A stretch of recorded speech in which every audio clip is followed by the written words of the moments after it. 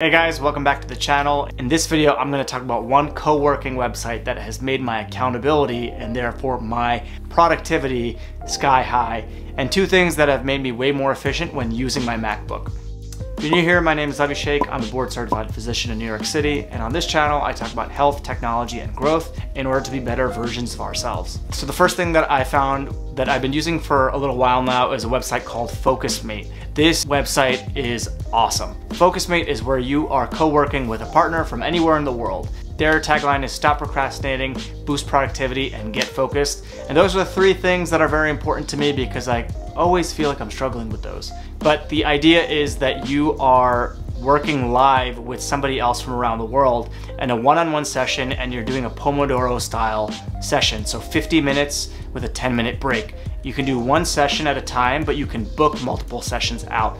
And the way it works is that when you start the session, you and your partner tell each other what you're gonna be working on. And then you keep the webcam on, but you can usually mute it and at the end of those 50 minutes, the bell will ring and then you and your partner discuss how the session went and what you were able to get done. For me, I think especially during the pandemic, because you're not able to work alongside others, for me, I like actually interacting with other people in real life. And especially when it comes to doing tasks that I don't like, I really like the accountability of kind of just knowing that somebody else is there and they're not really watching, but just knowing that they're there and I made a promise essentially to them, like it makes me get my stuff done. It's free for three sessions per week. Otherwise it's $5 per month, but it is, it is so fun to use. And I think one of the best parts is not only the fact that I get my work done, but I have just met some very interesting people. I've met comedians, I've met uh, big YouTubers, I've met PhDs from around the world, I've met other doctors, and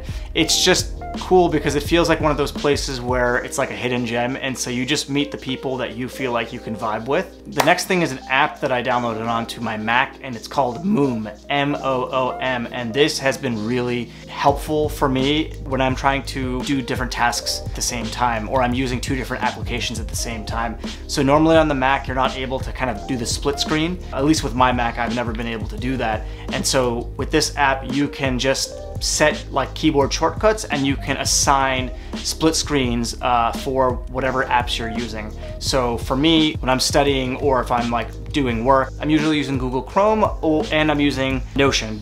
So I will, now that I can actually just split screen it, it makes it very easy rather than switching tabs and constantly trying to like copy things over. Like the fact that they're both just on the screen at the same time makes my workflow much easier. It makes using the computer much more enjoyable.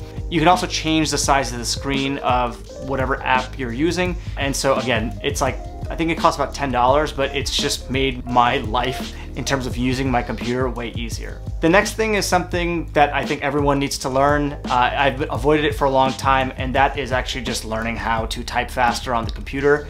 Uh, I've definitely been inspired a lot by Ali Abdaal for his renowned typing speed. I think it's 155 or six words per minute. The idea is that if you can type faster and you also learn the keyboard shortcuts, then it just makes whatever you're trying to do a lot easier. So I started to try it and one of the websites that I use is called keybr.com. And this is a website that you can actually test out your typing speed, but it uses your, it actually tests you for every single letter. So basically it will tell you kind of how proficient you are with typing certain keys. And over time, it gives you an analysis of, again, how well you're doing or what you need to work on. I think when I started, I was at 65 words per minute, which is probably is like embarrassing to say, but even after using it for like half an hour, I was able to bump my speed up about 78 and then maybe 90 words per minute. So it's a pretty, you get that feedback really quickly and you get that dopamine hit pretty quickly as well. One of the other things with KeyBR is that they actually make you type out words that aren't even actual words.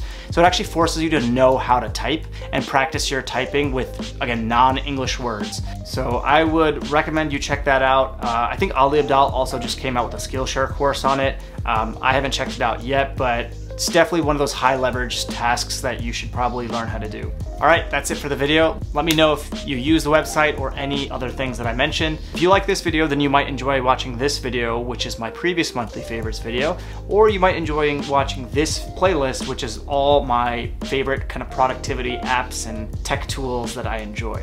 That's it for the video. Thanks so much. See you in the next one.